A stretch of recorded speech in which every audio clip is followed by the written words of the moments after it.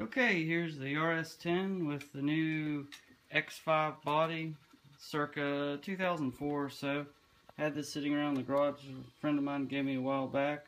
It was just a, it was actually an RC car, but it was one of those, you know, ones you buy at a dealership or whatever to mock up your car.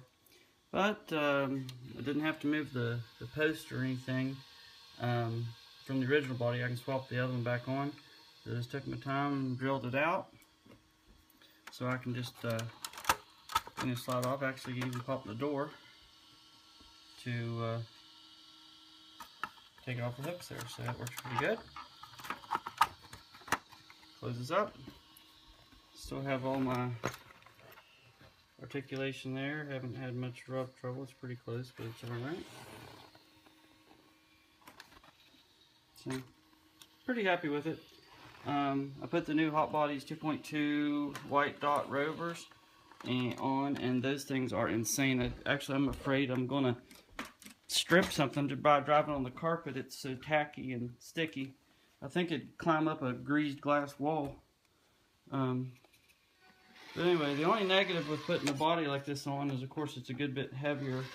Lost a little bit of center of gravity, uh, so I probably won't use it to do any serious rock crawling just because, you know, it's going to want to flop over on its side more. Little uh, force gear action here to get around. And so there you go. Give you a different angle here.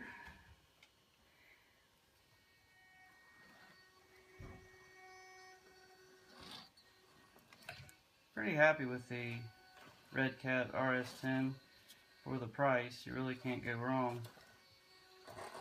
Um, thinking about different ways to do maybe a dig mode.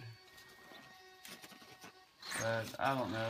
There's nowhere around here that re really does any kind of serious competition stuff, so just more my boys and I playing around, so. But we've had a lot of fun with them.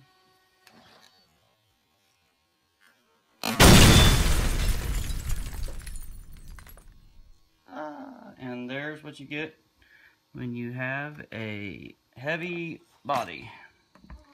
So, oh, I should probably block out that uh, license plate number, huh? So you don't call the cops. Catch you on the next one. Thanks.